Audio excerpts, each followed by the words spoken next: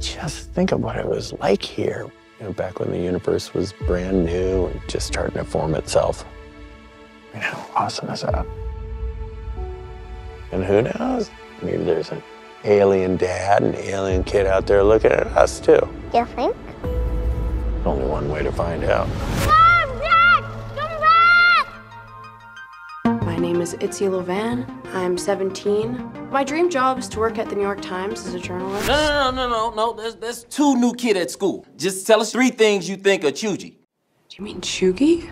I wanted to invite you to enter into a writing competition with me. We'll be in New York City in no time. I'm in. So what's the subject about?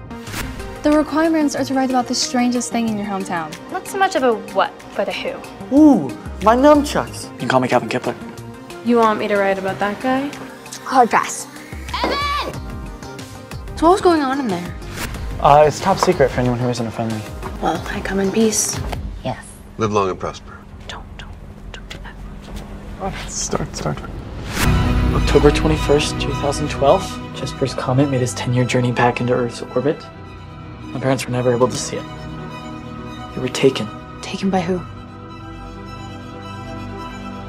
Aliens?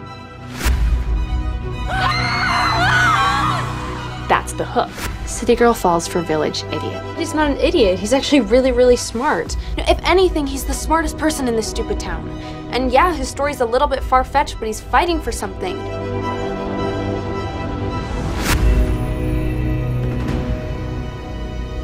You really think they're still out there? Yeah, I do.